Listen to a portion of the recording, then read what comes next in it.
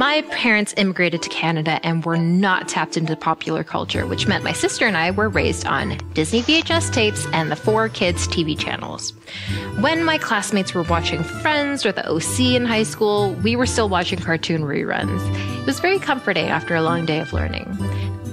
This might be TMI, but it also meant I went through puberty on cartoons. It's no surprise that some of my first crushes were animated. I was definitely taken aback by Casper when he turned into a real boy from the animated Ghost.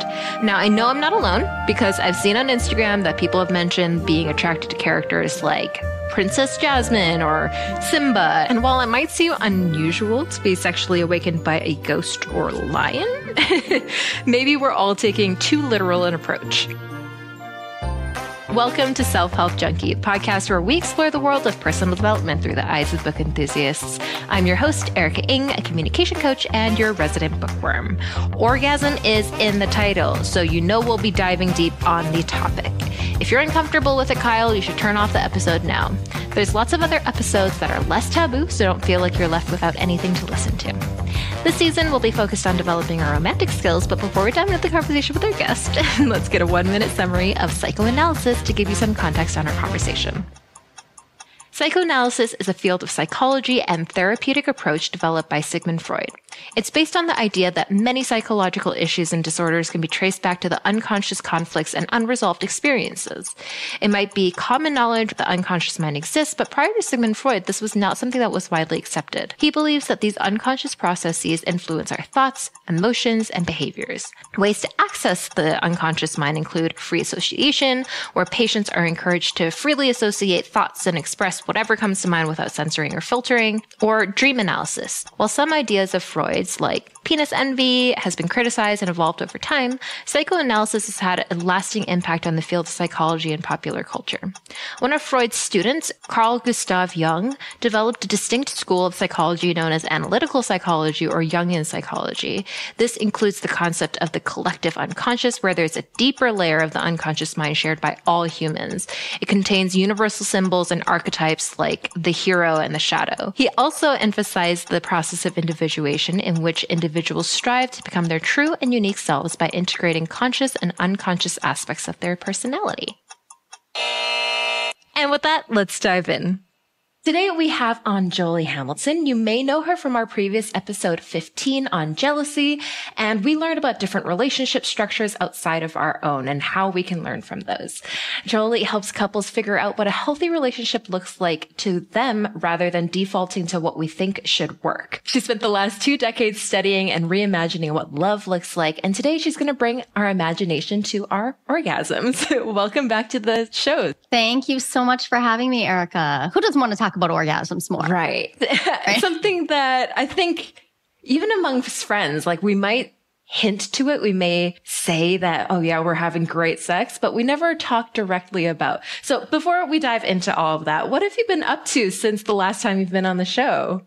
yeah. So it, it's such a, it's such a fun time of year for me because what I find is from the uh, about the end of summer right through the beginning of fall there's this brilliant beautiful time uh, where everybody freaks out about their relationship it's not, I'm not going to say it's universal, but I right. will say my inbox has been full and my client roster, I actually had to do a count because I noticed that just there's a lot of upheaval that happens mm-hmm. for people, right? There's a lot of stuff changing. I noticed that a lot of people seem to get this, this sense of, oh, something, something needs to change, something should change, or something doesn't feel right. I think it's because we, we spend the summer, right? Kind of like enjoying right. the, the beautiful blossoming of everything. And then we look towards fall and we're like, oh, oh, if changes need to happen, I should probably make right. them happen before the holidays. So, right. So I've been busy. and that's not a bad thing. But I think it's it's also maybe a little calming for other people, for listeners to hear. Like if you go through that upheaval, the end of summer, beginning of fall, yeah, pretty normal in my world for that to fe- happen. Yeah. That's really interesting that you can track that. I guess over many, many years, you can see, okay, there's a pattern to this. Why is this happening? Exactly. Exactly. Ah, okay. So today we're talking about orgasmic imagination and it's not something that I'm familiar with at all. So can you give us a little background? Like, what is this? Yeah, what are like, we diving why are we into? Talking about this? yeah. So the concept of an, an, an, orgasmic imagination, it's really, it's straight out of my depth psychological background. So mm. I'm a Jungian and archetypal psychologist. I'm also an AASECT certified sex educator.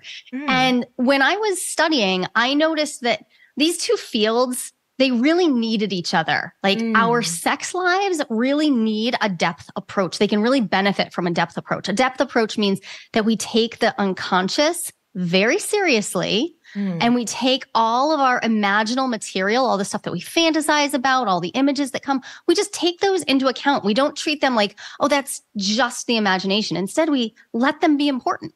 And so the sexuality world can really benefit from that and the depth psychological world, which is wonderful. I mean, if you've ever heard about shadow work, then you mm. are hmm. at baseline familiar with the idea of depth psychology because shadow work comes directly out of Jungian psychology. Mm-hmm. And it's that idea of working on the stuff that is not yet in our conscious awareness.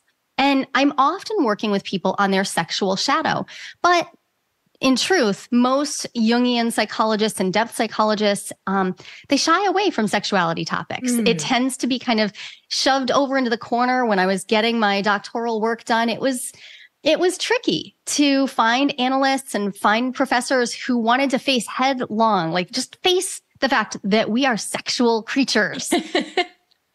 but these two fields, when they intersect, there is this beautiful, there's this beautiful space where we can really experience our sexual selfhood in a deeper way. We can start excavating some of the material that we have. Like it's coming to us. It's coming to us in our visions, in, in what mm. we fantasize about. It's coming to us in those moments of erotic pleasure, that peak experience of orgasm.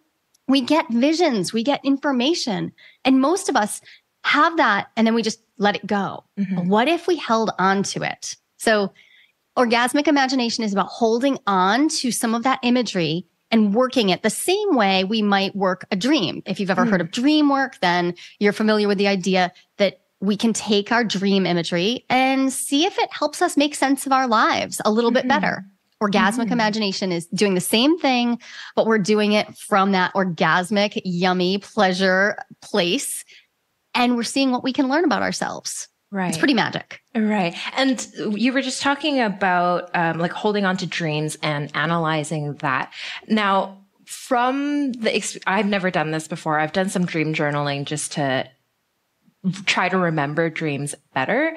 Um, mm-hmm. But people who I have heard uh, delving into this, they will write everything down and then they will go look up on like the internet, like what does dreaming about a chicken mean? What does dreaming about a bear mean? And like they try to give meaning that way. Is that the same way uh, you would approach giving meaning so, to the um, imagery? I, I love that you went at, like I love that you went and explored that because that's actually it's it's so important to name. That is what most people think of when they think of dream work, right? Somewhere I think in the 80s, mm-hmm. dream interpretation journal, like those mm-hmm. those big dictionaries became very popular, right? And so in a lot of like metaphysical shops in the 80s and 90s, I know right. when I was a teenager in the 90s, I could go like find those at all of my local witchy shops and that's dream interpretation. Okay. And and it's sort of a whole it's a whole idea that, yeah, we could just one for one substitute. Yeah, if I dream of a chicken, it means this. I take a slightly different approach.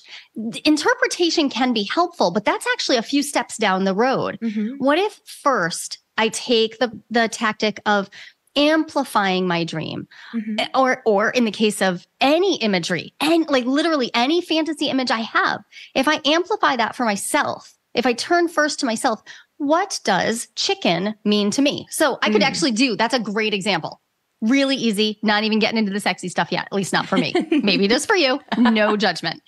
Um, if I, if you say to me, Joli, so you dreamed about a chicken, what does that make you think of? Well, I might say, well, chickens. So when I was a kid, we raised chickens. I have chickens here at the house. We eat their eggs. Um, we try to take good care of them chickens feel like they're very playful to me. They're kind of mm-hmm. like land dinosaurs. and um, I have a lot of red chickens and I could I could go on and on for a while about that, right? Right. That's all my personal associations right. to the chicken.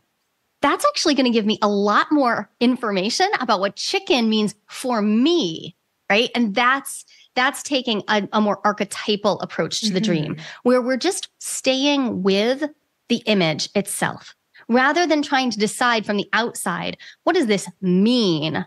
Instead, we allow it to blossom because all of a sudden, if I had a dream about a chicken, Mm-hmm. I might be like, oh, chickens, chickens mean home to me. Everything Mm. I just said to you, I'm like, oh, I kept talking about home, home, and a lighthearted, playful. I had a lighthearted, playful sensation in my body when I was describing it. Okay, I have no idea. If I look up chicken, I have many symbol dictionaries in my own collection. I have no idea if I would see home and playfulness in those Right. dictionaries, but they clearly hold a role for me. And so that's the first step that I will do if I'm working with an image is like, well, what is what does it mean to me right off the bat? Like off the top of my head, just associations. And it's it's also a way to help your unconscious self, right? Your unconscious being everything that you don't have conscious awareness of, but is you. Um, when you take your personal unconscious material and your association seriously, Mhm. your psyche notices that, right? Like it, it's like, oh, she's she's paying attention. Mm-hmm. She's tuning in to her whole self, not just the stuff that she thinks of day to day, but she's being present to the fact that she's more than just the things that she has to do day to day. That will wake you up. If you've been Mm. feeling like you are not quite your whole self yet, this is one of the acts you can take to start shaking yourself awake. Okay, so it's a way almost like for the subconscious to communicate with the conscious if you are tuning in and being mindful, being present. Exactly, which is why it's a it's an aspect that you could call shadow work, right? Now, Mm. shadow work is usually about the stuff we don't like, But Mhm. I anything that we're pulling from the unconscious into consciousness could have a role in unpacking our shadowy stuff. So yeah, this is making your unconscious and your subconscious layers more present for you. Mhm. And that that's valuable. Right. And so with dream work, a lot of the journaling is necessary because it's very easy to forget when it comes to orgasmic imagination. How do you get there? Like, are you supposed to orgasm and then be like, excuse me, I, I can't snuggle right now. I need to go write some things down. I kind of love that and I do have a couple of partners who I do that with. I'm like, "Hang on, I need to like I need to hold this image. Um, I won't necessarily leave, but I have been known to take a note or two in my dream journal that's on the side of my bed. Yes. Right. You know, if you're going to have, um, if you're collecting images, I just think of this as a way to collect images and you're going to experience sexual pleasure, Mhm. then one of the things we can do is just allow ourselves to collect those images by letting ourselves be with them a little longer. Mm. Sometimes we rush to come to, if you come to an orgasmic um, peak, right? Mhm. And then you start to feel the resolution. Okay, I'm coming back down into, yeah, snuggling. I can absolutely, while I'm snuggling, just like let that imagery stay with me Mhm. and not rush away from it. And this is, is particularly important if you have images or imagery that is challenging to you. Let's say a really common thing is to have imagery that is triggery, right? Maybe Mm. it's violent. Maybe it's uncomfortable. Maybe it's exactly the thing you don't think that you want to be imagining.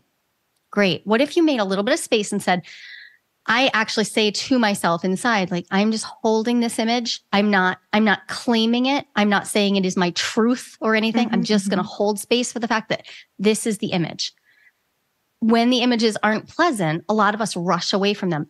And even when the images are really pleasant and we like them, it can be hard to own the fact that we get off to stuff that Mm. maybe isn't what we think we should get off to. Mhm. But that too can have really profound impact on knowing who you actually are. Because Mhm. no no psychological image is just one dimensional. Like Right. violence doesn't just mean violence. Um, a- if I'm imagining a particular person, it's not just about that person. It's about what they represent to me. Mm. Who do they symbolize for me? If I can just be with that image, right? So if you're, yeah, a dream journal is a great thing to keep, and you don't have to write every detail down. You know, you wake up in the morning, and if you can even capture a few brief Right. m- words to just like remind you, like, oh, I had a dream. There was a bear. I was at a circus, but then there was, why was there, why was my mom there? Right. Just Right. capture those things. That's enough. The same can go for collecting those orgasmic imagery pieces. I might just notice, um, for example, I have a recurring figure. Um, in fact, you've read a paper um, that mm-hmm. I, re- I, wrote about her, Nina. I have this recurring figure. Um, I have another recurring figure though that's mythological. It's Cassandra from the Greek myths. Cassandra, mm. like recur- occurs to me all the time. Those are all floaty and kind of nice. But then there might be. I, I interviewed somebody once about orgasmic imagery, and she said, "I really just see a lot of colors and shapes." Mm yeah. So she's present to that. She, she's like, I see purple fog. I see a lot of triangles. I'm seeing, you know, it feels almost psychedelic to her when she's in that space. So she just holds that image a little longer and lets it ground into her conscious awareness so that then later, after the snuggling is complete, she can decide to go write it down. Right, right. So I don't know I mean, I don't talk about orgasms that often with my friends, but I don't know if anyone's ever mentioned imagery. Is that something, is that the primary sense that we get? Because mm-hmm. I know that friends have mentioned feeling like guilt or feeling shame, especially if they're looking at porn and that's how they're reading, reaching their orgasmic yeah. state. Yeah. Oh, it's so interesting because so psyche's primary language is image. Mm. And so you could consider words themselves are images. Um, but anything you can hold in your imagination, right? Mm-hmm, That's mm-hmm. how psyche speaks to you. Okay. And so your psyche being what what you are made of. It is entirely personal. And then there's a collective layer of mm-hmm. psyche, mm, right? Okay. We can we can tap into this collective sense of what is it to be a human. But the images some of us when we're orgasming yeah we're we're taking in external images and there's nothing wrong with that. Porn's great and mm-hmm. all the better if you happen to have access to ethically made porn. Yay! Love that for you. Love that for me too. And if you're taking in images, though, it might be harder to access your own. Mm. So, for the purposes of orgasmic imagination practices, like tapping into what my imagery is, I would set that aside and allow myself to, to create in my own imagination. And that doesn't have to be just visual imagination. That can also be what am I hearing? What am I mm. saying to myself? What sort of things am I am I doing to get myself off? Because there are all the physical sensations. Mm-hmm, mm-hmm. So if I said, "What do you do to get yourself off?" Most people would say, "You want me to what? Like describe how I circle my clitoris?" Like, okay, I guess I can, but but what I'm talking about is what are you doing? Are mm-hmm. you in mm. fact like telling yourself a story? Are you seeing rapid fire images? Are you watching basically a mental movie? Are you imagining a scenario that you put self insert, right? Are you doing like mm-hmm. self insert fanfic right there? Whatever it is, that's your material. And mm. your material then it's it's so valuable because it is unique. So mm-hmm. I can't tell you what you'll find in there, but I can say this would be a time to to shift away from using external like erotica of of any form just for the practice not mm-hmm. not because it's bad and shift into your own imagination and see what happens see what comes up for you and what i usually tell people is try doing maybe like 3 orgasmic sessions and notice the imagery and then work with that because the noticing is the first piece we want to mm-hmm. like I, I call it collecting the figures like so who's in there? Who right. are these like, do these figures, these actual like imaginal creatures or people or animals, do they want to interact with me? Are they like appearing to me or even a shape, right? A non-figurative like essence? What is it? I want to collect them and, and start to allow them to be autonomous. Let them be whatever they are. And after I've collected them, now I can move out of the orgasmic space into actually working with that the same way we might work with a dream. I could take a dream, say to a dream worker, to an analyst and mm-hmm. say, yeah, what do, what do you think this means? And hopefully they would then help me draw out the internal meaning and also look at, yeah, what is the symbology of that? Mm. You know, for instance, I mentioned that I have this figure, Cassandra. The figure of Cassandra in Greek mythology is well, she's tragic. She, you know, she is gifted foresight because she's gifted, big air quotes, foresight, the gift of foresight of knowing the future. But because she won't allow Apollo to rape her, she is then gifted with the the horror show that it is to know the future and to never be believed. Mm. To never be believed. So that I have my personal imagery having a Cassandra figure who shows up over and over for years. Oh, that means something, right? Like, Right. so some part of me likely has a connection to the idea of having some knowings, having some intuition, Mhm. and not being believed, not being Mhm. able to have that taken seriously by the others, or maybe taken seriously by me. Mm. So that's a pretty, that's a big, like deep mythological theme. But let's say somebody has something really simple. Like I have a friend who has spoken recently about how she has a lot, a lot of imagery of horses. And for years, she was like, I would never tell anybody that, but we've been talking for a long, long time. She's like, so I have a lot of imagery of horses. And she feels shame because she feels like people will think she's like wanting bestiality. Right, right, Like, right. Yeah, we're backing way out from that. This is not about you wanting some sort of act that you find shameful. This is about you just mm-hmm. being with the fact that horses are coming up for you. Okay, great. Let's let's explore that then. What is the what does horse mean for you? We'd explore that that the depth of her connection to horse. And when we did, one of the things that we came across was that she absolutely connects the horse to safety Hmm. horses are her safe spot. She was what you might call a horse girl in her teen years. And she still, to this day in her 40s, finds this real safety in being around horses. And so we worked with that imagery for a while and how she might want an image of that is safety. And she also connected to the fact that the musculature of the horse felt sort of masculine to her. Hmm. I was like, interesting. Okay. So safe masculine. Gee, I wonder why a woman in modern culture might want to interact with a safe masculine while orgasming, right? Right. She felt such immense relief from her shame right. when we talked about this. I was like, yeah, yeah, that's, that felt, that sounds perfectly reasonable to me. And from there, we got into talking about the imagery of horses and how, you know, like the, the popular culture images of horses tend to be either like weak and around like, oh yeah, those horse girls and this like unicorns and all of that, or war horses and this like Mm. hyper masculine, like, "Urgh." she's like, no, the horses for me are they're beautiful and they're light, but they're also powerful. So we just stayed with the images. And what we were doing was not trying to change her fantasy. We weren't trying to do anything. I was just letting her do what I call metabolizing the image, just being with it rather than trying to analyze it or interpret it. Just be with it. So she talks a, li- a little bit about like what she sees. And that's it. The whole, the whole session was like 35, 40 minutes of her sharing with me what her images are, doing a little destigmatizing Mhm. around it being okay to have any image come up Right. and then amplifying and engaging with the, the horse imagery.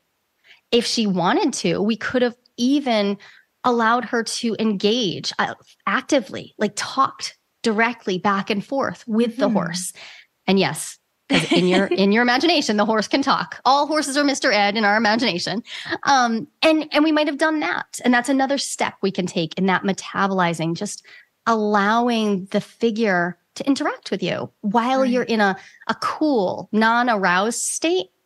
What does this figure want to share with you? Because here's the real trick. This is why dream imagery matters. This is why symbolism matters because it's all part of you. Mm. It's your imagination. So literally every figure in your dreams, every figure in your orgasmic imagination is an aspect of you that wants to be known deeper. There's nothing to be afraid of and there's nothing to be ashamed of because you get to contain everything, the light, the dark, all of it. And it doesn't mean you have to act on it. You can just enjoy the fact that more of you wants to be known. like as you were talking there, I think it surprised me a little bit that orgasmic imagination doesn't necessarily have to link directly to sex and it can, but it you don't have to come at it from that way. I remember watching some YouTube video uh, that was explaining different kinks that people have, like why people like hentai, why people like I don't know the the different types of porn categories that you would see on Pornhub, um, and yeah, they, they explained it in a way of not necessarily wanting to engage in that, but it gives you certain sensations and there is like a certain sense of safety to it or like a wholesomeness to it that makes it more accessible to you. Exactly. And I think this is a this is a great time to point out. I just had a wonderful conversation on my own podcast with um, Sunny Megatron from American Sex Podcast, and we were talking about how we like we all from time to time need reminders that kink isn't necessarily sexual, mm. and sex doesn't necessarily like there are nece- not any categories that are necessarily more or less kinky. It's all subjective. And mm-hmm. it's such a mm-hmm. good thing to remember. Like what might feel really shocking to you and might feel like, oh, I this can't, I can't, can't think about this in the sexual realm. For somebody else might be like a Tuesday and no big deal. so if you are feeling a little shocked or a little stretched by the idea that that this would have to be intensely sexual imagery. Mm-hmm. No, a lot of it will likely be quite mundane energy, quite mundane images that just matter to you. And what's, think of it this way it's like the veil is thinning. Mm. You are less likely to have your, your conscious defenses up. And so when you, you let those drop, you let the veil thin, now that unconscious material has a better chance of making its way into your conscious awareness. And if you're willing to just hold it there, I mean, I had had fantasies for so long that I, I would just let them go, just let them mm go and over and over.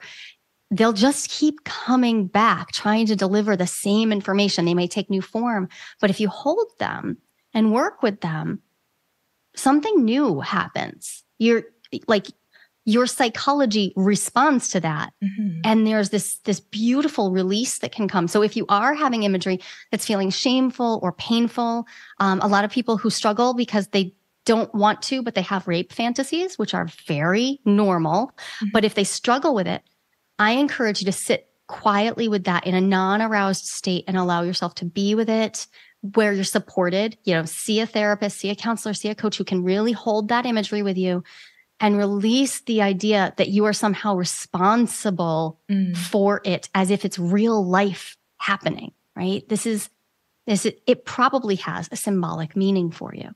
It mm-hmm. probably has some deeper message. Maybe you're feeling violated. Maybe you're working through some traumatic stuff, but it could also be that you feel powerless Mm. Or that you are struggling because you're feeling very controlling of your own partners. Mm. Now, that mm. control could be over whether they wash the dishes, but it can go sideways. Like our right. imagination takes these things and, and turns them and flips them and then delivers us back imagery that can be pretty challenging to sit with. So yeah, it's so, it, it's so much more than the orgasm, but I do think it's it's really powerful to tap into our orgasm as a source of knowing. Mm-hmm. And I find women in particular, when I bring this up, a lot of women are like, I didn't know we were talking about that. Are we talking about that now? Is that a thing we can talk about? Because most of us, even if we do talk about our orgasm, we don't talk about it in this nuanced, like, like tender way. We talk about getting off. Mm-hmm, we talk mm-hmm. about, you know, like coming really hard. Like, right. okay, like that's great. But there, there are all these other layers too. And if you're, uh, if you can allow yourself to share that with other people and just talk about, oh, I, you know, I know somebody who sees angel wings all the time and her, her po- like pre and post orgasmic minutes are filled with images of angel wings. And she's, yeah, we've been talking about that for several years. And she's like, they're still there. I, you know, she doesn't know what they're for mm-hmm. yet, but she just sits with them. She meditates on the wings that she sees. She's noticed that they change color over time. And she's just in this space of trusting that they're there for a reason and that's okay and not trying to change it or do anything. But I look forward to at some point, I think that there will be something that comes through her like, oh, oh, that's what that was about. That's, that's why I had all of the imagery of, of wings, of angel wings in particular. Somebody else might have right. butterfly wings and it might be a very different feel to them, right? Right. It's not a clear cut, like right. it's not a clear cut ac- academic process. It's a it's an art for sure. Right. It it really reminds me of mindfulness of just sometimes you're just so busy with your day that you don't have the time or space to just notice things like, oh, I have tension in my body and just slowing down, allowing your senses to speak to you. Right, yeah. right. And you know, I think there's there's something to be said too for all of that erotic imagery that we that we feed ourselves in order to get aroused. Mm-hmm. So that's like one part of the imagery. So that mm-hmm. might come from the external world, like porn, like erotica, audio porn. I love. Oh, if you haven't tried the Audible mm-hmm. pornography, it's just amazing. It's so good. um, but we have all of that and, and that can be really useful or we can also just the stuff that we we do we intentionally imagine to get ourselves aroused that's mm. juicy stuff it's awesome but i think of that as sort of a separate category of my okay. material like that's my on ramp right. and then at some point once i'm aroused you'll probably notice a time when the imagery just starts to create itself mm. like you are no longer having to to to push and it is just flowing, it's happening. And that's the material that I'm like, that's the stuff that I'm very curious about. And I just want to be mindful about it. I want to be mm-hmm. present to it without trying to force it because that, that initial driving energy, that's great. super useful. I'm so glad, especially if you're a person with responsive desire where you need to kind of get yourself into the mood rather than just having it spontaneously appear. Yeah, you don't you don't want to lose track of the fact that you have those resources. But then when you do feel the shift and your spontaneous material is appearing, that I have found can be transformative for people who kind of feel disconnected from their mm. sexual self, or they feel like they have sex primarily to connect to others and they don't really have any of their own reason. When we tap into whatever the imagery is that comes for them in their orgasm, there might be some information about what it is that they actually want about around pleasure around having sex around masturbating like what do you actually want? Mm-hmm. and you might be hiding that from yourself by again like dropping the images as soon as you come like okay good done. I'm just gonna i'll, I'll just i'll Task just get finished. right right up. Yeah exactly. Tick the box. That's one kind of orgasm but this other kind it's it's got some juicy information for us. Right. And in the paper that you sent over, uh, it was talking about active imagination and how maybe like one of the things that you're worried about is what if I'm not a type of person who gets to actively imagine? Is that something that you've like the fear is gone now? Is this something that you feel like everyone can tap into? It just takes some practice? Yeah, I think there's, oh, there's such an important point to make here. Okay, mm-hmm. first off, I definitely struggled with the idea that I got to be, that I got to have unique and unusual information coming to me. Like the mm-hmm. idea that I was special somehow mm-hmm. or I would mm-hmm. have this information just felt very, that was not how I was raised. We were more the cut the tall poppies down type of mm-hmm, people. And so I had to give myself a lot of permission. So for anybody out there who's listening, um, I bestow upon you the permission to have unique psychological fantasy material here. Your gold star is achieved. You got it.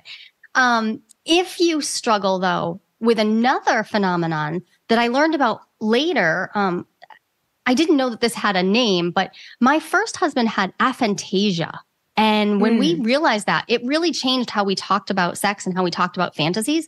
Some people have aphantasia. It's a different way for the, the brain to work and they don't have spontaneous, they don't imagine actual pictures right. in their mind.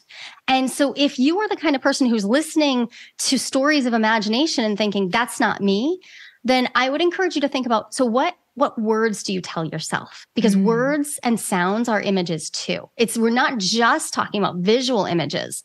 So I had to give myself permission because I didn't feel special, but I've noticed that a lot of people who struggle with like fantasy because they feel disconnected from the idea, they just need to hear that, you know what? It's totally normal to be someone who has aphantasia.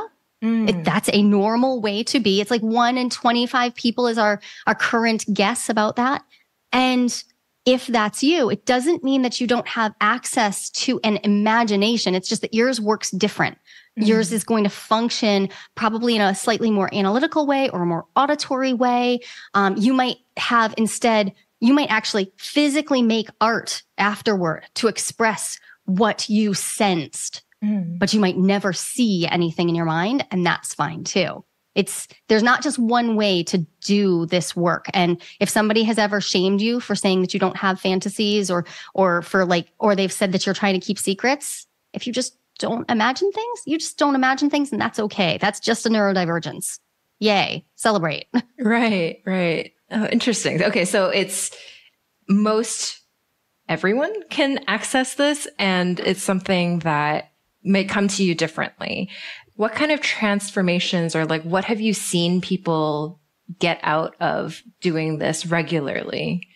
Yeah. So the biggest thing that I have noticed is when I when I do this work with clients, um, often we do it alongside dream work because what we find is there's just a different set of images that come. And these images often have a lot to do with what we feel shame about, what we feel guilt about, mm-hmm. and what we are deeply hiding in our our shadow, which might be our golden shadow, that that the parts of us that we can't allow ourselves to have because mm-hmm. they're too good, or our murky shadow, the parts of us who we disavow being.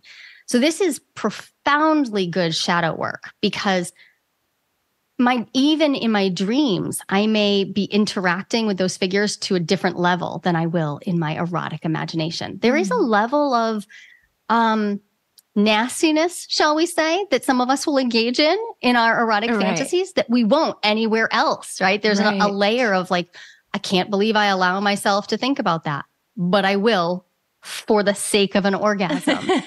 so the transformations that I see are people freeing themselves from lifetimes of shame and guilt about perfectly normal sexual responses or just from from having a desire to orgasm at all from mm. having fantasy at all so many of us were brought up in households where our parents didn't know any better so they shamed us because they had been shamed I was really lucky and my my parents did not shame us about sex. It's like the only thing they didn't screw up.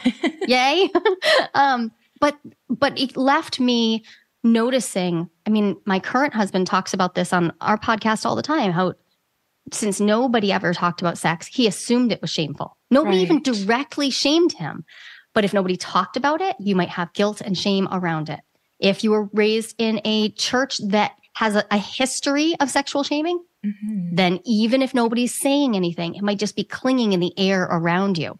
So this can be a way to start working with your imagery and taking seriously the fact that you are a human who has sexual functions. Mm-hmm. You you get to have them and your imagination is also part of your normal being. And also there's liberation available when we when we stop taking our imaginal work, fantasy material so literally. Mm. Because if I have a rape fantasy, I don't want to be raped. if I have a violent fantasy, um, I've heard numerous people talk about having fantasies that involve blood. Right. They're like, I don't want to do that. I'm like, I know, I know. But blood is very powerful. It's very powerful imagery. It's very mm-hmm. evocative. It arouses our sensory um, mechanisms. Mm-hmm. And so we, it comes to us. But then if you feel shame around it, right. it's not that you, you don't externalize that. That happened inside you. Right. So now you can get this tangle of guilt and shame and fear that you want to literally enact this or that some part of you wants to literally enact this it's just nothing could be further from the truth. The the liberation comes with realizing that this is symbolic material. Mm-hmm. It's personally symbolic, it's collectively symbolic, and we get to work with it from that place. And that's so freeing. So many people have told me that they're they're now able to have their fantasies and recognize that they don't have to be afraid to say, mm. "Oh, that that's mine. That's my material." Right. Work with it. And then some of them have been freed from having repetitive fantasy material that they don't want mm. by acknowledging it, doing some some active imagination afterwards and talking to the figures and saying, I, I'm really, I'm done. This, this hurts me. Right. Would you leave? And your psyche will listen to that too. Right. And so there's a lot of transformation available from a lot of different directions, depending on what's coming up for you and what work needs to be done, what you're ready for right mm. now. Yeah, that makes a lot of sense.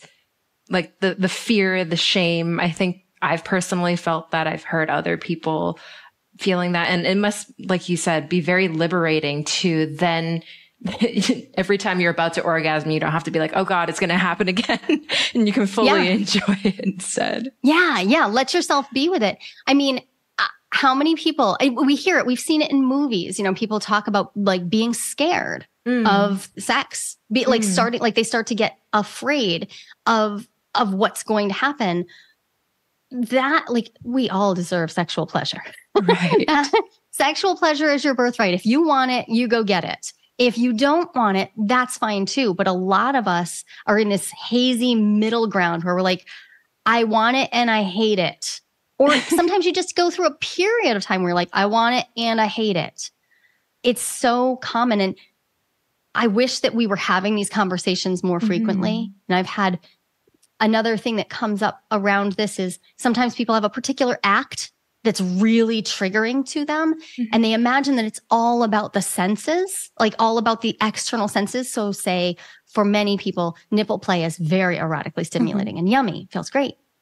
And for a lot of people I've spoken with, it's also terrifying because it makes them feel out of control. And, that, mm. and the mm. sensory input is I feel, I feel so stimulated. I feel out of control. But when I ask them to be with the images that come up, Mm-hmm. If they do engage in nipple play, then they often talk about feeling out of control to a degree that feels completely unsafe. Mm. And often there are like, there are words happening in their head, scenarios playing out that are really scary.